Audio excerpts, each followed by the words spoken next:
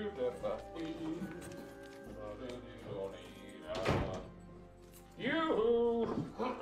Baxter, Papa's home.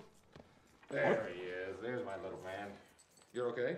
Uh, of course I met a lady tonight. This one was different. I have to be honest.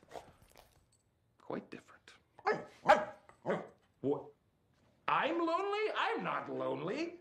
I'm, beloved by everyone in San Diego. Wow.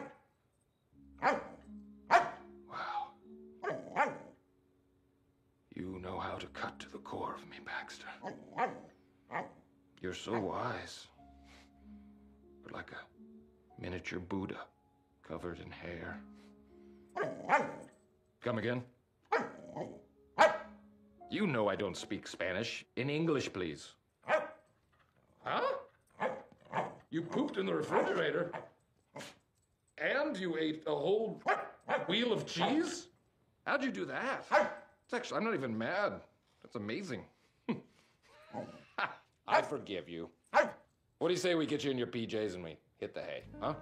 Bedtime. Okay, come on. Let's go. Come on.